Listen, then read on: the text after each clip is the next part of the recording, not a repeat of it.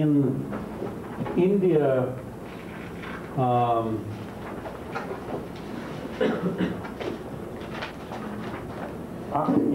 this is roughly speaking, tantras that classified themselves as highest yoga tantras.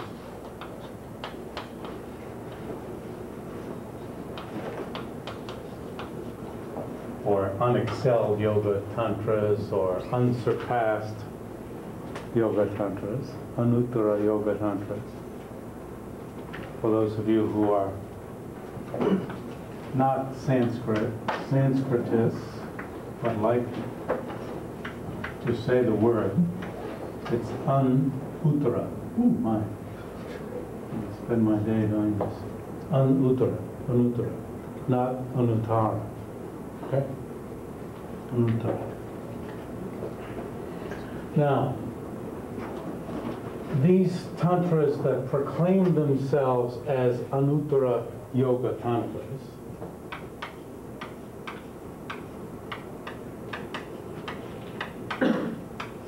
some of them at least spoke, or their commentators spoke about there being four classes of Tantra. Which, and of course, the other classes weren't highest.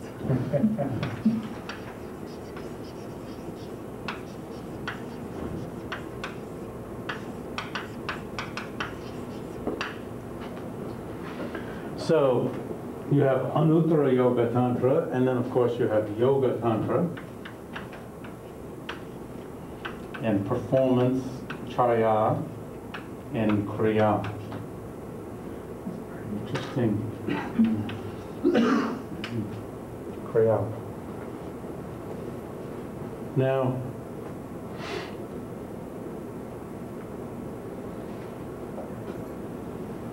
and they laid out the differences between these four classes of tantras in at least nine different ways. And that is in chapter 13.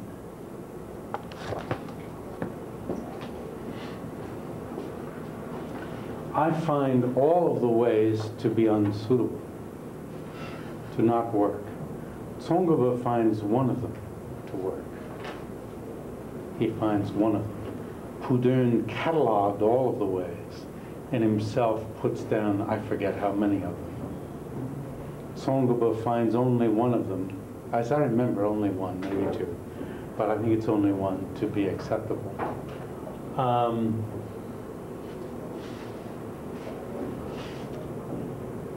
and when Buddhism, if you look at Buddhism, uh, Tantric Buddhism in Japan, they do an amalgamation of action, performance, and yoga without distinguishing which is which. From a Tibetan, maybe I could say untutored Tibetanist point of view, it looks as if they missed out on the highest and they couldn't make a difference among these three. Well, actually, I think if you look back, uh, this division into four is artificial in the first place, plus the nine ways in which the four are distinguished don't seem that don't seem to stand up that well anyway. So this rigid identification that one learns early on in Tibetan studies uh, gives you a skewed view when you look at Japanese Tantric Buddhism. Now there are differences. There are things present in Tibet that aren't in Japan and there must be vice versa also. Now,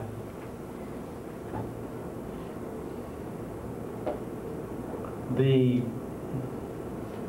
path of meditation that we're talking about here is that of action tantra.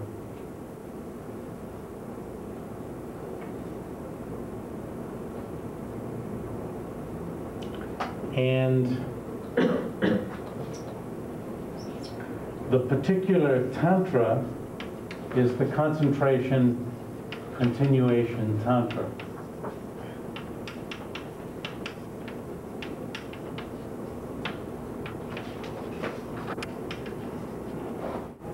The Indian commentary that Tsongkhapa is following is that by Buddhaguhya.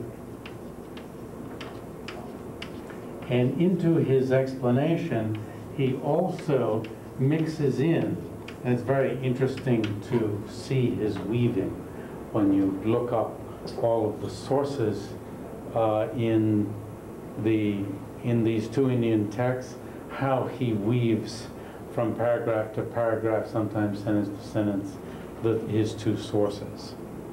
Now, Vajrabodhi is come is uh, uh, did a uh, practice text on the Susiddhi Tantra.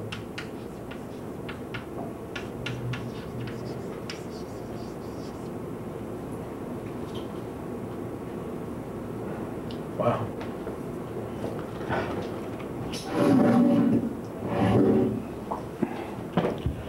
Yeah, yeah, yeah, yeah, yeah. So,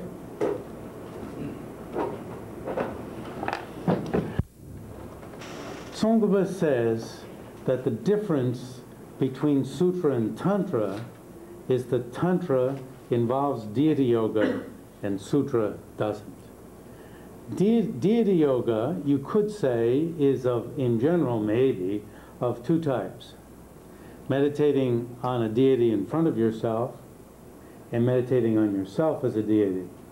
When he says the deity yoga is the difference between Sutra and Tantra, it's meditation on yourself as a deity that is the difference. Because, for instance, there are one invites Buddhas and Bodhisattvas in the sutra systems in front of you, or imagine them in front of you in space, whatever, and you make offerings to them and so forth, and that does not constitute Tantra.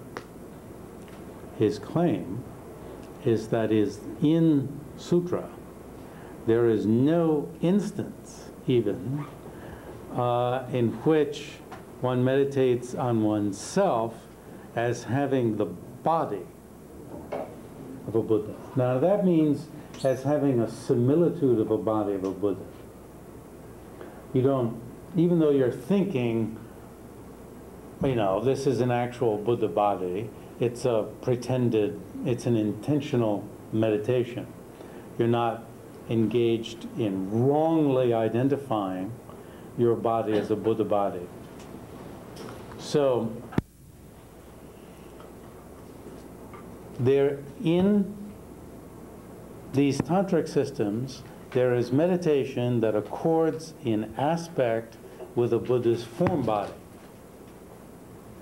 Now, if we speak of a Buddha as having body and mind, is there meditation in sutra that accords in aspect with the Buddha's mind?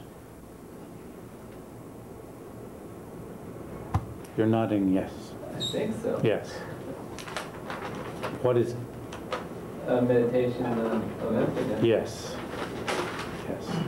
It's meditation on emptiness. Now, really, a Buddha's mind has two aspects, as we saw last time. The, the omniscient mind, the one that uh, non dualistically knows the emptiness of all phenomena and all universes simultaneously, and the other that knows the varieties of phenomena. Well, actually, when you say that there is meditation in the sutra system that accords an aspect with the Buddha's mind, the technical terminology of Buddha's truth body, but Buddha's mind, it means that aspect of the mind that is non dualistically realizing emptiness. Okay? So that is conceded that in Sutra one does copy, imitate a Buddha's mind. There is a slight difference in that you don't think this is a Buddha's mind.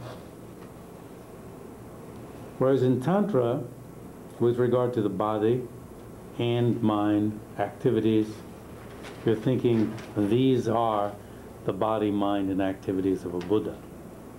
Small difference.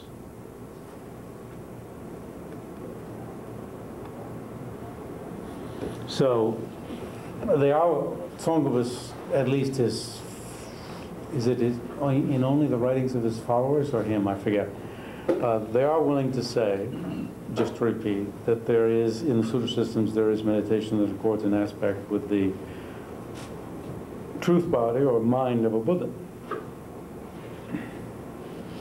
In that, one enters meditative equipoise on emptiness.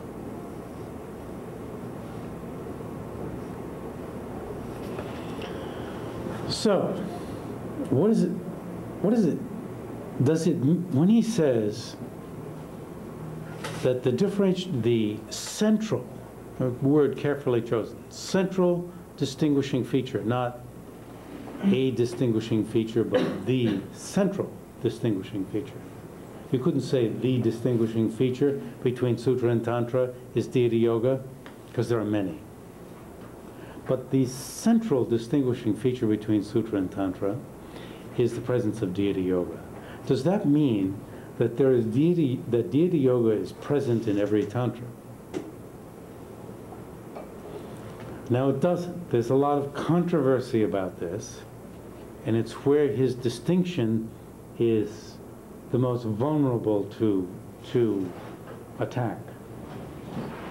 Because there are many action tantras in particular that don't involve meditating on yourself as a deity. In fact, most of them don't. And in fact, when you get into reading them and so forth, yes, they don't. you're inviting a deity in front, and you're making offerings, and you're you're um, influencing, shall we say, the deity to um, bestow certain boons upon you. Increase your intelligence, increase your lifespan, increase, increase your opportunities for enlightenment, etc., etc.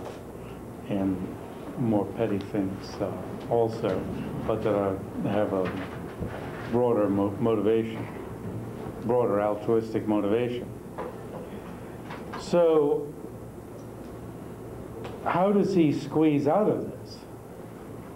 He says even if the majority of action tantras don't involve deity yoga, he says the, that the main trainees for whom action tantras were taught, now this is double talk, the main trainees for whom action tantras were taught uh, are, are persons who needed deity yoga.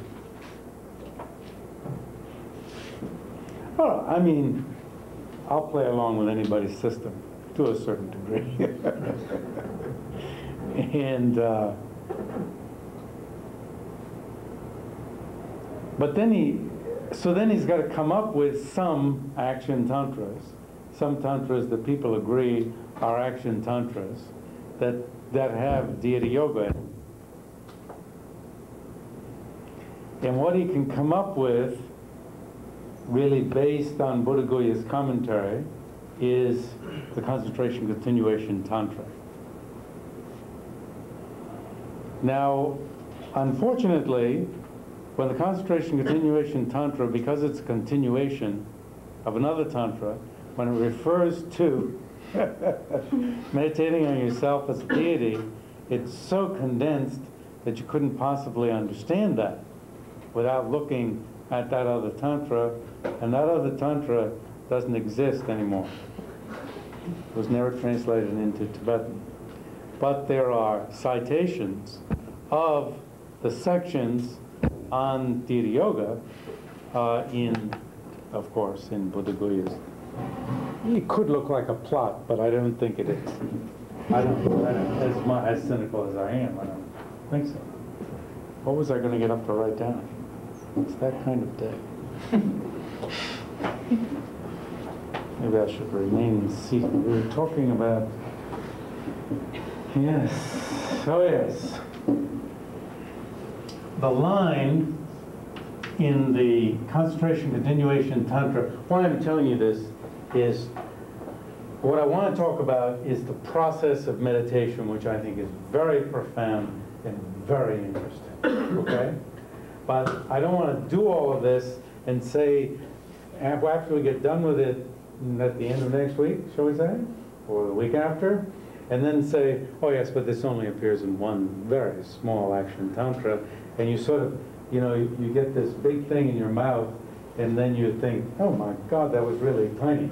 All right? I want to tell you, it's tiny first, okay? And then give you something really big. Hmm. Because I think the system meditation is really interesting and deserves a lot of attention. So it's, I don't want to burst the balloon afterwards. I want to burst it first and then blow it up. Ever seen anybody do that?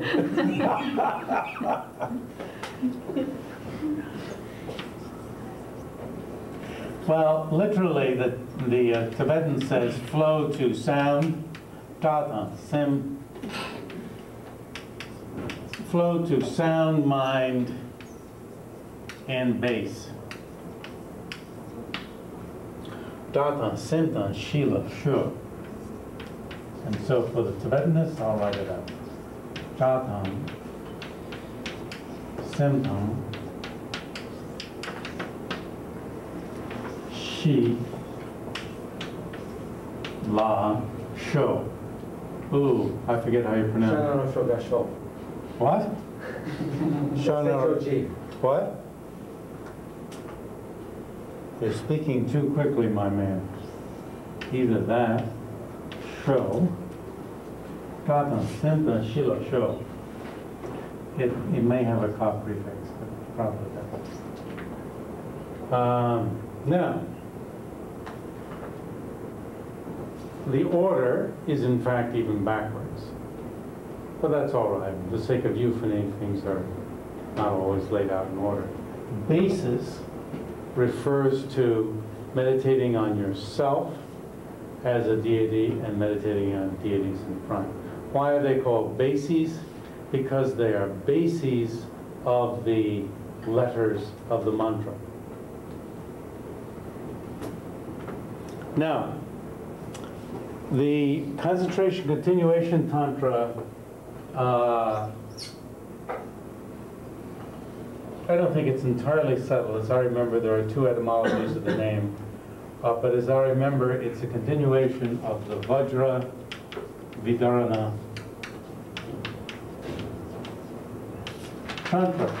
In the Vajra Vidarana, this process is laid out in detail. And it's all cited in Songha's text. So if you wanted to challenge that it's really, that the concentration continuation doesn't have deity yoga, you've got to challenge that text. And there's, there's, it's absolutely clear that he didn't make up that tantra, because we have Buddhaguhya's commentary and so forth. If Buddha Guya, for some reason, made it up, who knows? But uh, I think that's highly doubtful also. Okay? Then, when Varabodhi presents the Susiddhi Tantra in his uh, practice text, uh, he presents that with also. Okay. So that's bursting the balloon of, of the presentation. That, the distinguishing feature of the four tantras is deity yoga. Bursting it in the sense that we have understood that very few action tantras, extremely few, have deity yoga. Yes. First of all, when we say that the action tantras don't have deity yoga, are we talking only about this type in which you meditate on yourself as the deity? Yes. Which is the distinguishing feature? Yes. And also, I didn't understand Tsongkhapa's, how he squeezed out of this problem by saying that the main trainees for whom action tantras were taught are the persons who needed deity yoga. I didn't understand that. Well,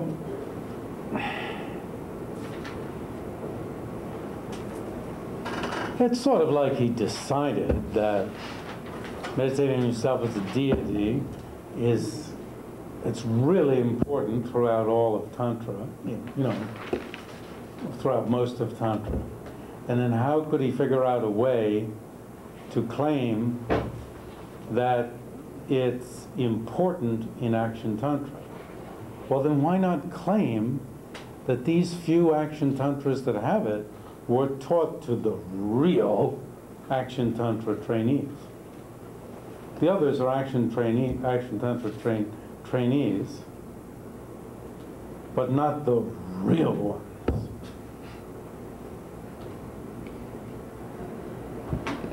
I mean, it's a, it's, what do you call it? A fudge. Yes. Could we say uh, Action Tantra maybe a preliminary to the other Tantras or a transition from Sutra to Tantra? Is that kind of argument made or not?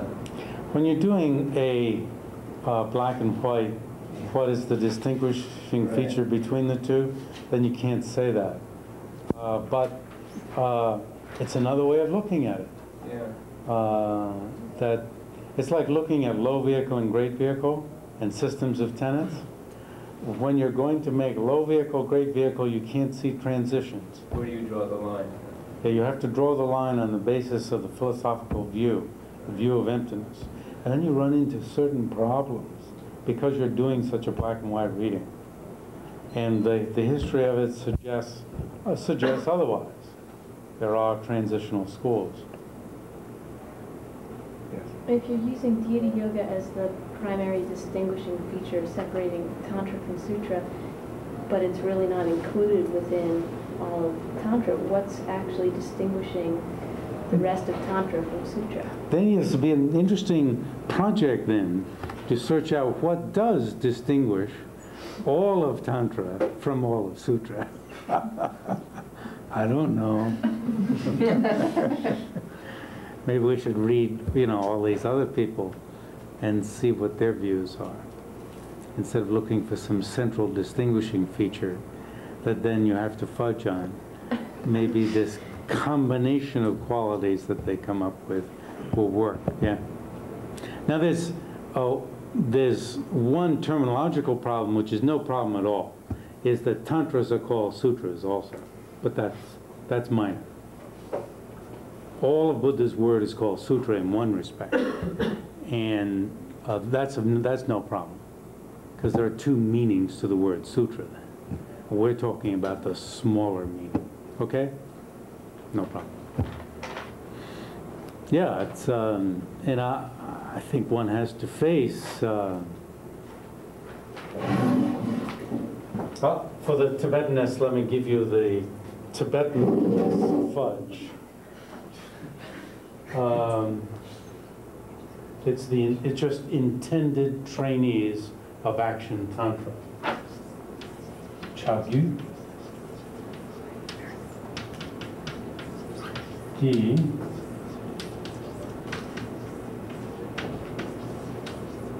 Chilu Jawe.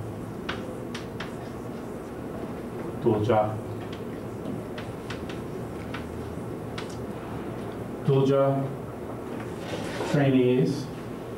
Chilu Jawa means who are the intended objects. Don't confuse this Jawa with Kriya Tantra. Jawa is a word that means um, those for whom something is done. Chagyu is Kriya Tantra, Action Tantra. Chagyuki Chilu Jawa.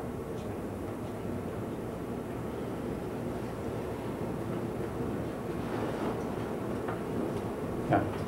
But then why wouldn't the action tantras, if they are for those people, talk about deity yoga? That's what I don't But why are they still included, I think the question then is, why are they still included within the Action Tantra class? Why are the ones that don't have deity yoga included within the Action Tantra class if, okay, they don't have deity yoga? Is Please supposed to find be out. some kind of preparation? Please find out. You see, when you're taking a mass of material from India and you're categorizing, it, you're going to, you're going to, you know, lump and it's maybe not going to be, work out to be entirely satisfac- satisfactory.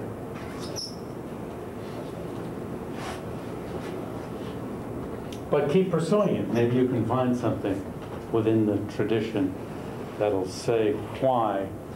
uh, You know, it should be something like, uh, uh, we don't want to get too far off on this, but one of the, one of the ways of dividing up the four tantras is to say action tantras involve a lot of external ritual. Performance tantras have a modicum of external ritual and internal yoga.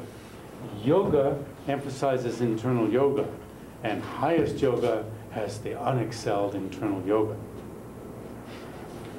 Now, the problem is, when you look at something like the action tantra called the concentration continuation, and its process of deity yoga, and the three meditative stabilizations of body, speech, and mind, there is profound internal yoga, internal yoga.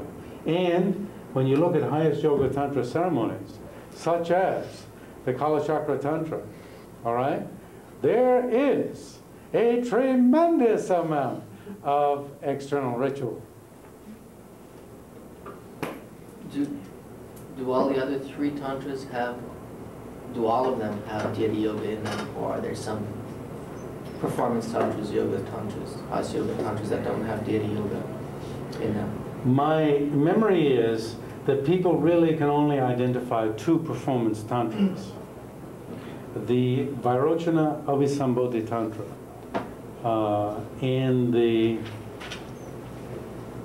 uh, Vajrapani Initiation Tantra.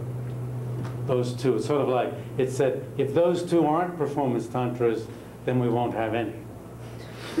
Goes by a negative. And then you cite, you know, he cites a couple, maybe one person who said that, who said the performance tantra, the Vairochanabhisambodhi. Okay? Now, who's you, now, Do- oh yeah, uh, I've not checked. I've gone on the assumption that those two do, because there's no controversy. Uh, uh, Because there's no controversy. There's no question about a yoga tantra. When we speak of these levels of Tantra, um, as elucidated perhaps by Tsongkhapa, um, are we referring to classifications of texts that can be categorized as per these four levels? Or do we refer to um, attitudes of practice that uh, may be placed at any of these four levels regardless of the text itself being referred to? Is that clear? Well, sort of. Is my question not too clear? Um, Certainly, it's text being classified into these four, and you have the text because there are beings who practice in these ways. And um, merely because somebody does a highest yoga tantra ritual does not mean that that person is performing highest yoga tantra meditation. And you have to say that usually they're not doing even tantric meditation or sutra meditation. that none of the base qualifications, basic qualifications are being met. All right? Hmm. So here we're dividing classes of literature, actually. Uh, But yeah, it's literature, and how do you divide them? Uh, It's supposedly based on the practices that are contained within them. Supposedly. It doesn't, I'm, well, we'll have to see later how, how I think it doesn't work out. How Tsongkhapa says it doesn't work out, and yet chooses one. For instance, okay, uh, he says, the one he chooses is that action, it's a great system. It's, it's promulgated in Highest Yoga Tantra, and it says a lot about Highest Yoga Tantra. A lot. You see, it's not that my cynicism undoes my interest in it, it just like confines it to where I think it should be. He says it's how you use desire in the path. In Action Tantra, you take the desire that's involved in looking at a sexual partner. That desire, you know, when you see somebody, there used to be a song across a crowded room, you know, you at some sort of party or a restaurant and you see somebody and your eyes meet and something happens, right? and, uh, you know, there's a desirous consciousness that is produced at that time. And then that desirous consciousness is used to realize emptiness. You see, when you are desirous, the consciousness is strong, intense. And you use that consciousness to realize emptiness. And that's the level that you're at. You can use the level of desire that arises from looking. And you can imagine how hard that would be to do. and then the second is smiling. Sometimes the first is translated as gazing, and the second is done as smiling. You know, in the in one way, the order of uh, sexual mm, whatever contact is looking, and then then there's the smile that enhances it. You know. uh, but of course, one thing that screws this up is that in some tantras they put smiling first and looking second. But you know, there would be the smile and then the longer gaze if you did it the other way around. And then in Yoga Tantra, there is, it's done in many ways, holding hands. You know what it's like when you first hold hands, you know, not when you're sick of it. Um, holding hands and em- it, And you can see that would be even more intense. Closer, touching, in that the thrill of the touch, that mind of the thrill of the touch, realizes emptiness. Wow! Instead of causing you to think about how you're going to get the phone number, and you start dreaming about, you know, how you're going to live together and all those things. You know, use that mind to realize emptiness, reality. Is that because you, you realize the emptiness of your object of desire? Of Or what? Uh, well, if you're, what you do is you, in the, you're practicing deity yoga, and uh, either physically or in imagination, actually it's said in these three tantras, it's all done in imagination. And you take this thrill of mind, and then you, you use it to realize the emptiness of what? Yourself, your partner, the, your mind, the partner's mind, your body, the partner's body, etc. So it's compared to a, that desire is, it, it sounds bad, but isn't, is compared to a worm. No, I'm sorry. The pleasure is compared to a, a worm that is born from wood in you know how fruit flies appear in your garbage can, you don't know where they came from. So you, you might conclude they were produced from the garbage can. I mean, I'm just wondering, like, anyway. You know, in the olden days, they didn't didn't think that somehow eggs got in there. Because, you know, there's no way eggs could get in. Just don't tell me eggs could get in there. So the wood is desire. Desire is the wood. And the wood gives birth to the worm, which is the pleasure. So it's the, the desire gives, gives, gives birth to this pleasurable mind, right? without the desire, even you look, you're not going to have pleasure. Desire leads to pleasure.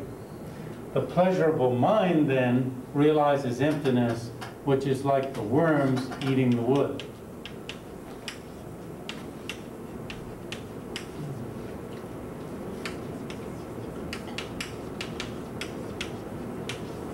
So you see, eating the wood means eating the desire.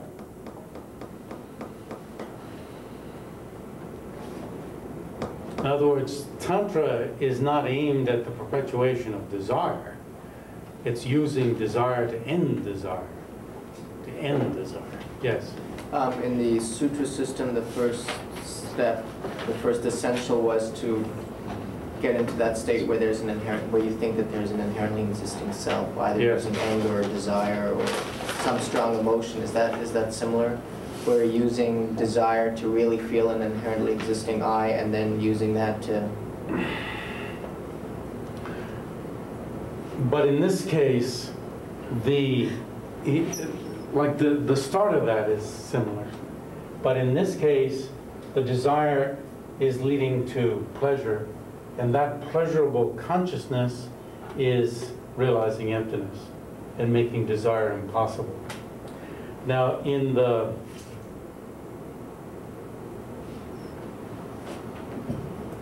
which is different. Okay. You don't have process, any analytical process, then uh, setting in. I mean, realizing emptiness is analytical in a sense, but this could only be- done by somebody who's quite familiar with the process of realizing emptiness. Thus, the integral nature of Sutra and Tantra. Without having some now, some acquaintance with emptiness, how could you possibly just suddenly do this uh, in the midst of a pleasurable and desirous situation? Then I guess I'm confused on what you mean by the pleasurable mind realizes emptiness. So there's a mind, for instance, when you're searching to find I and not finding it, that mind, what is that mind? Well, it's a virtuous mind, it's a neutral mind. Um, I, mean, I don't know, I, I should be able to lay out all the qualities of it, but I can't. Uh, whereas here, you're taking this intensely concentrated, it's, it's concentrated by desire, by pleasure, but it's just all, and you, in it's realizing emptiness, it itself. So pleasure remains. It's not like the pleasure is destroyed.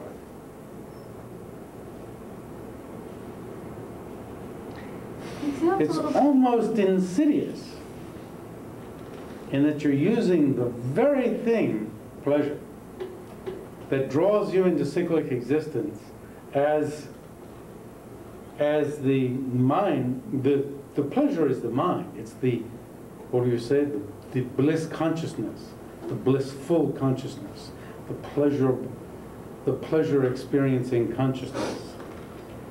You use it to realize the thing that will get you out of this process. Yes.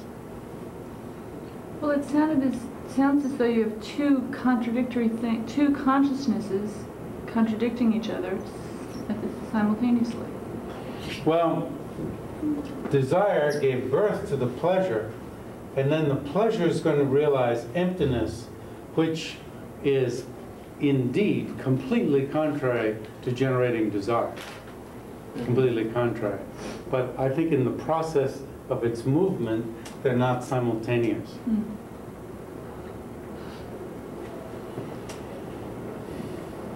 And in highest Yoga Tantra, what's capable is what's called the joining of the two organs, which means, put more bluntly, it would be orgasm, the mind orgasm. It's not that you learn how to sit with a sexual partner in, or you, you do a sexual partner, sexual embrace with a partner to the point where you don't care about it anymore, you know? where you become neutral about it all, which actually is one way. You know, if you're distracted by sex or whatever it is, do so much of it or whatever, that, that you just become bored by it all. I mean, That's not one way to, to accomplish this goal. But it's one way to improve your meditation. It can be. And in fact, one of the Indian authors looks on this process this way. His name is Tripitaka Mala.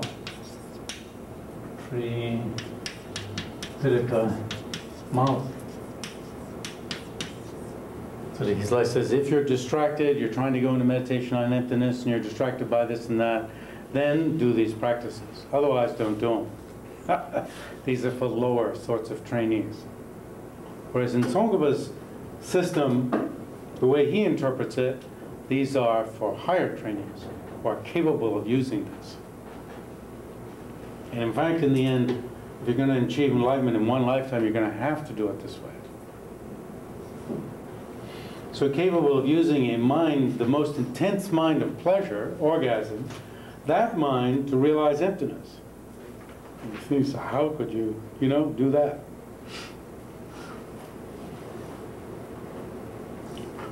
So this is what highest Yoga Tantra says about the others. And Yoga Tantra does speak great, it has a lot about it on embrace. Embraces.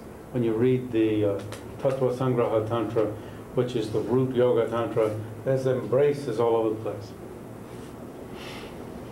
Uh, when performance and action, even though Pudun found a couple of little instances of uh, smiling and uh, gazing, uh, that there's no uh, predominance or.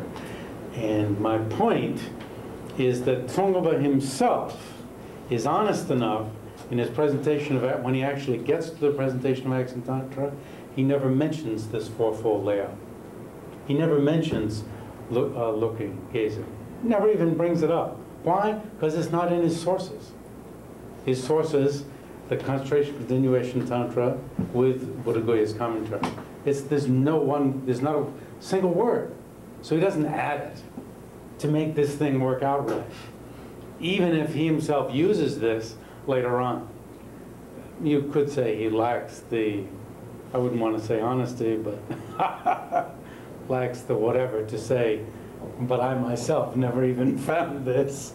Uh, he does cite a couple stanzas from Action Tantras that Pudern had found, or somebody before Pudern. Anyway, Pudern cites them. Yes.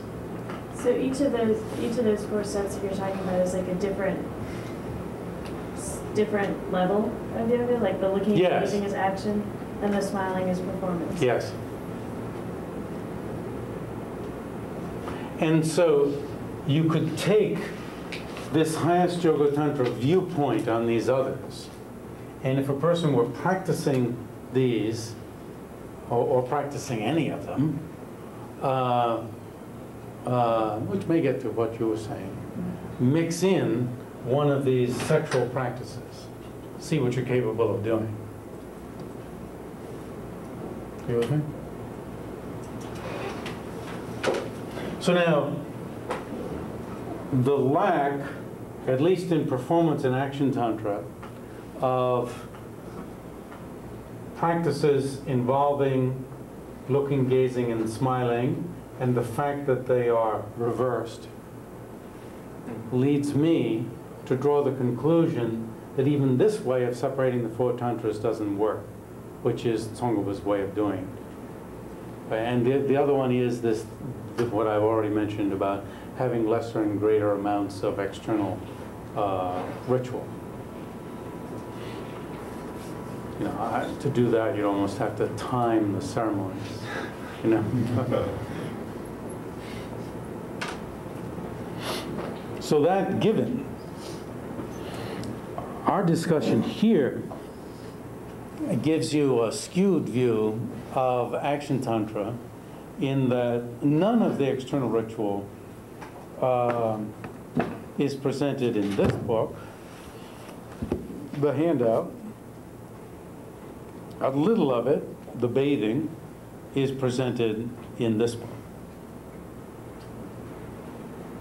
Some Tibetan masters write off action tantra in the most glib terms.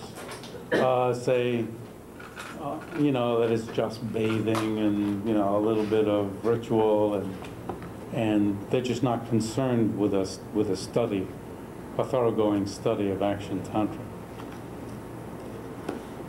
They, they want to get on to their own topics. And I think it's one of the strengths of Tsongkhapa's presentation that he bothers to go into this in detail because it turns out to be a really interesting uh, set of meditations. Why did you use this in the text? Why didn't you just to choose a Hasya Yoga Tantra to describe Dhyana Yoga or Yoga Tantra? Um, because this is so neat.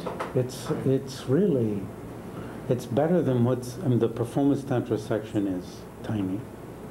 In the yoga tantra section, he doesn't bother to discuss deity yoga. He uses it as an opportunity to discuss emptiness yoga. In highest yoga tantra, well, I mean, so so few people know about this, Mhm. and it has such good techniques in it. Mhm. That was very attractive to me. And so, of course, some people say, oh, it's just action tantra. as if, as if it would somehow be easy. Hmm. So that's the, the prologue.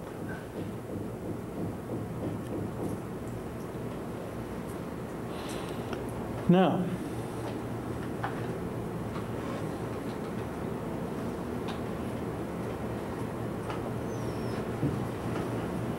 I've forgotten some of this terminology myself, and as I'm reading, of course, reading along with you, I'm bringing it back back to life. Um, and one thing all of us have to keep straight are the various sets of terminology that overlap, sometimes in very odd ways, that, that aren't, uh, you know, that are counterintuitive when you uh, first see them. The overall structure is put in terms of three types of meditative stabilization of exalted body, speech, and mind.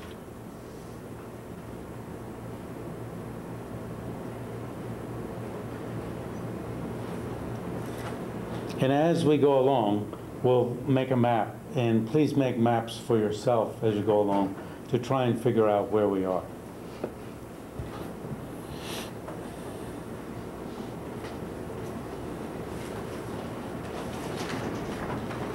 So there's a four-membered repetition, which might, which might make you think that as you did, that the four members weren't one thing and the repetition another, right? Whereas actually, the main part of the four members is without any repetition at all. Repetition of mantra. And so first, we have this last term base, which by context is understood to be bases. Other base, which in Tibetan is Shankishi, and self base, which is uh, Dagishi.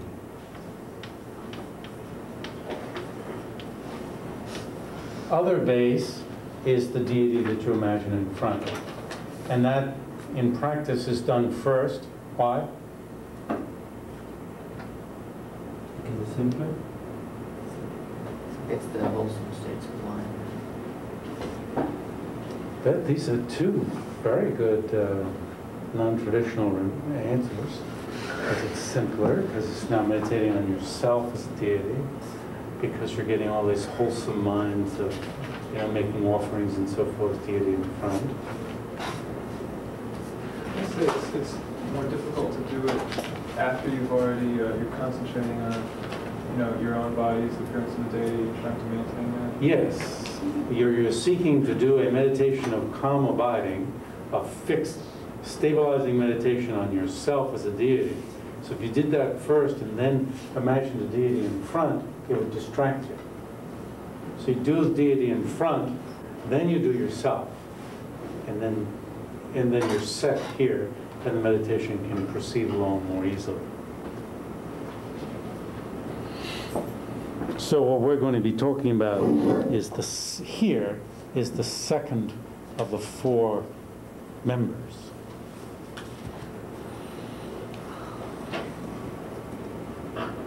Um, When is mantra repetition used?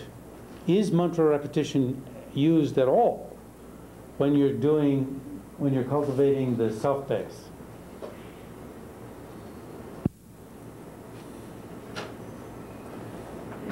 Preliminary to developing the uh, self-base, uh, there is the mantra Om Salava Sava Shu Not that, I mean repetition Yeah. of mantra, the, you know, going on with a particular mantra. It's used for resting. Yes, resting. It's used for resting. Meditation, establishing the body, divine body. So the main meditation is on the divine, your own divine body. So, and you get tired some, you could sit there and, you know, you know. Uh, but as the Dalai Lama jokes, if you, the Tibetans you see usually do the right, that you say, I'm meditating on myself with a blue body, soaring here, blah, blah, blah, blah, you know, all description of yourself, and then immediately they, they do repetition of mantra. And the joke, of course, is, if, then how can you rest? The only thing you can do to rest is to get up and leave the session. Which is, of course, probably what people want to do. Uh,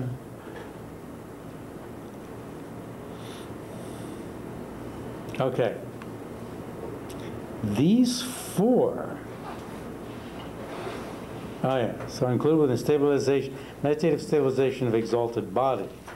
The repetition done after succeeding in visualizing these is included meditative stabilization of exalted speech. Oh, I had forgotten that. Then, then why would sound be called? Sound then here just refers to the letters of the mantra. Okay. Okay. Imagining oneself as a deity.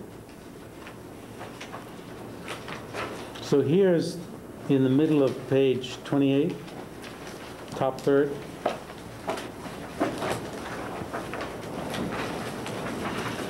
Do you think we'll finish this assignment this semester?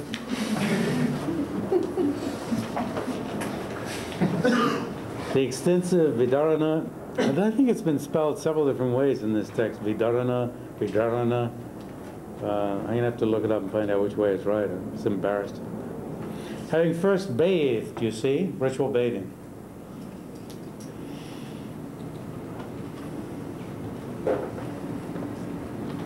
Has anybody read, happen to have read what, what's used for soap when you bathe?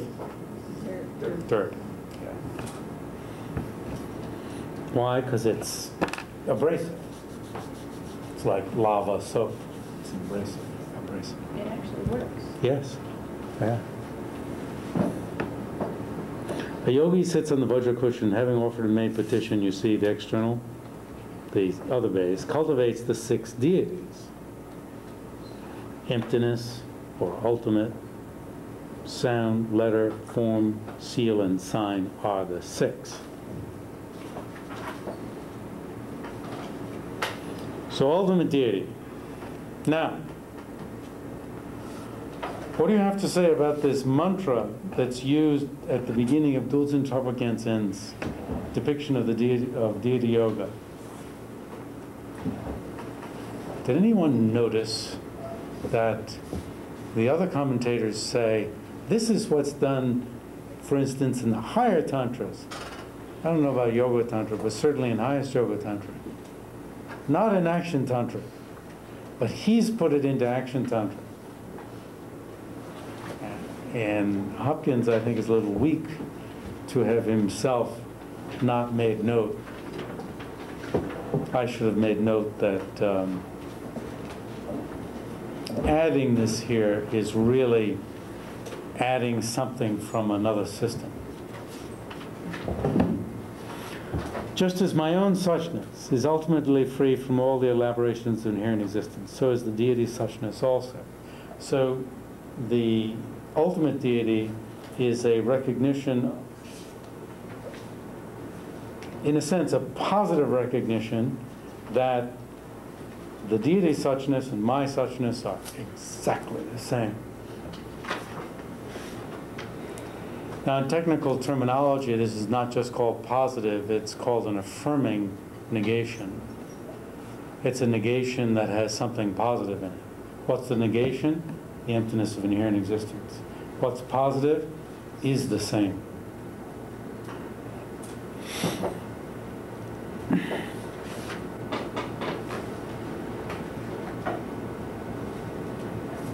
Yes. I have seen uh, uh, Tenjur uh, sadhanas related to Vajrapani and Muttadamaru um, that describe themselves as being at the action tantra level that do invoke this mantra. And I'll try to find you. That's a sadhana, just as Dulzin Gensen is doing a sadhana. This is, what we need is a, a basic text. Sadhanas like Varabodhi's uh, sadhana or practice text for the Susiddhi. But it's uh, worthy of note your point is most worthy of note. Therefore, in terms of non-conceptual perception of the final mode of existence of phenomena, suchness of myself and of the deity are undifferentiable like a mixture of water and milk. As I said before, last time, water and milk is two different things. Uh, rather than water and water or milk and milk. Uh, but the, no one identifies like the suchness of the deity is like milk and is really worth something, and your suchness is like water, and compared to that milk, no one does this. It's just that water and milk, when you mix them together, you can't say, here's the milk and here's the water. They're two things that really mix like that. And there are some things which you could pour together that don't, like when you're making a cake and so forth, right? You gotta beat them up. Put in an egg, even into very loose flour. It doesn't immediately spread out and mix in.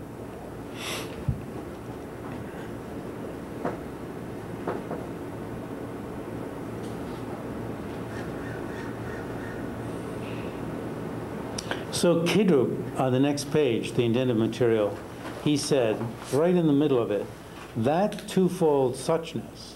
Why is emptiness called suchness? Because it remains such whether it's realized or not. That's what's said in the Lankavatara Sutra. It's called suchness deity. That twofold suchness is the suchness deity from among the six deities.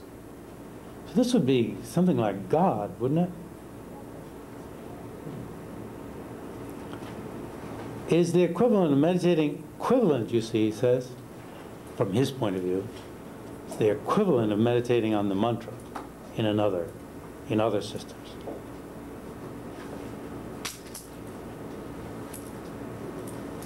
In higher tantra, Gyude Koma.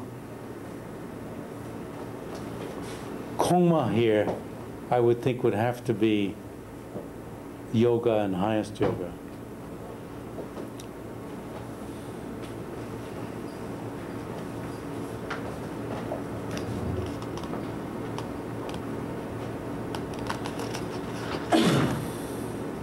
Then pride, next page, top of the next page. Some translators, Alex Berzin, for instance, don't want to use the word pride because that's an affliction. And so they say dignity. You're to cultivate the dignity. It's very funny to me. Pride's funny too, but he's like struggle. I mean, he's a good friend. It's like struggling to avoid the word pride, but that's the word. You know, it's among the uh, the root afflictions. Pride. And so then you have to wonder why the term pride is being used. Is it because it is an affliction, an afflictive emotion? Do you think? ah, yeah.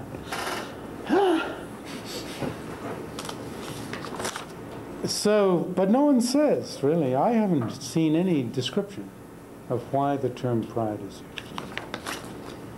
Except you're willing.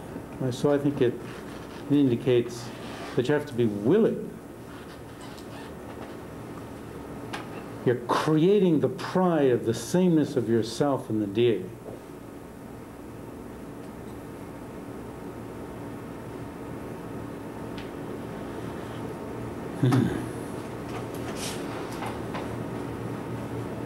So much you read today about Jung's cautions.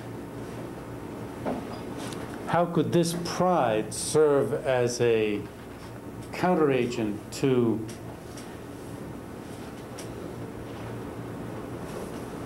dangerous inflation? Emptiness. Hmm? Emptiness. Because, right, it's built on realization of emptiness, which is the unfindability of yourself and the deity.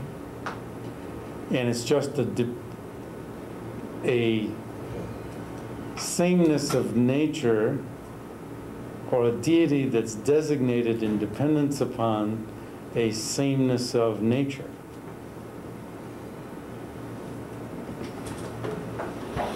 But then, I guess I don't really understand why that should make you proud. If they're both equally empty, then they're the same. Why should that inspire pride? If they're Well, you see, it's not pride, it's not right. an afflictive emotion. It's merely a conception of I, but of a glorious I. Not the common being that's designated in dependence upon, you know, this sort of cruddy flesh, blood, and bone. When you finally appear entirely, you have what you're imitating is a consciousness directly realizing emptiness, same time appearing as a deity. So you have pure mind and body. So it's a being that is designated in dependence upon pure mind and body, which makes that deity, that being pure, which makes that being a deity. That's all. Rather than the limited Jeffrey Hopkins who's got this and that disease and, and this is aching and that's aching and my throat's getting a little parched and why didn't I bring my cup for water today and so forth. One of the root infractions in highest yoga tantra, at least in Gelug, is to look down on, deride your own mind and body. Oh, I've got this ache and pain, or oh, I'm too fat, or, you know, all these things that we're constantly thinking. I ought to build myself, mu- whatever it is. My hair ought to be this way or that way. It's all infraction. Why? Because you're supposed to appear to yourself in this ideal form. And if you're paying attention to this junk, then uh, you're conceiving yourself to be ordinary. Yes. So it's not the same. I'm always passing. Yes. Oh, you? Yes, please. No, please, go ahead. No, no, you first. Well, are you using this notion of pride in the same way you're using desire, which leads to pleasure, to the really No. realization? No. This is a non-afflictive pride. And this is an afflicted desire. This is afflictive. And so pride, you, you, you wouldn't, it's not like. I'm feeling proud. It's not. It's just that you do have a sense of I that's designated in dependence upon pure mind and body. And because that mind and body is exalted, um, you are exalted, and you can see why Alex wants to say, because it's not afflictive, create the dignity of yourself, you know, dignified concept of yourself as being pure, whatever he says. Divine dignity. But it, I, I think that's brings up other matters. Plus, I'm very conservative and think if the book says pride, you ought to say pride and struggle with it. So my guess is that the word pride is used because when you look into emptiness, sometimes, especially if it's not understood exactly right, you know, you feel that there's some sort of contradiction with appearing. Never mind appearing as a glorious being who's going to do all these marvelous things for so many people. So it's using a term that's usually for an affliction in a non-afflictive way.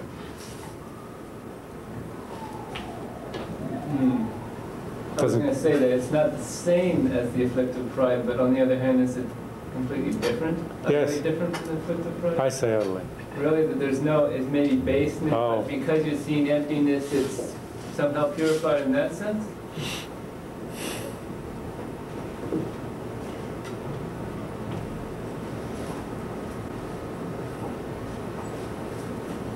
Afflictive pride is totally built on the misconception of inherent existence.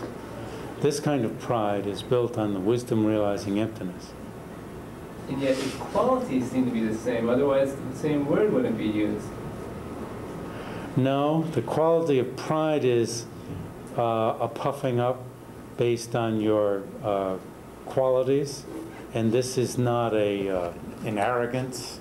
Um, but of course, the word is used, and they're still using the word that's like arrogance. I, I'm not pretending I'm giving excellent answers. Yeah, actually, I don't understand exactly how it builds, but His Holiness the Dalai Lama also says that it's actually so opposite to it that it actually uh, Hmm. reminds your pride. I mean, Yes. Our feeling of this. Yes. pride. That's a good point, which doesn't entirely undo his was- point. yeah. Yes. Um, aren't you just creating agency within the appearance factor um, with pride? I mean, you have to have agency in order for there to be a transformation. And so, if you want to have pure agency, something that's not afflicted, you can call it pride, but you're also placing it within the appearance factor while you're understanding that there's also an ascertainment factor that is going to um, keep the agency from being afflicted. What does agency here mean? well, the self that you're talking about is not um, negated, the, the practitioner in a way. Um,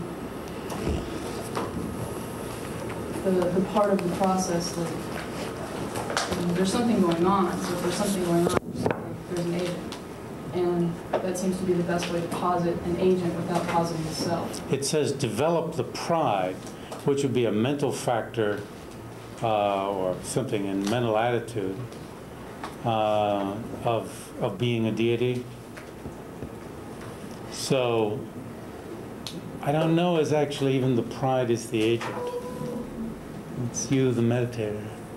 But of course, you, the meditator, are the one who's going to appear as the deity. Well, it's a good point to end the discussion.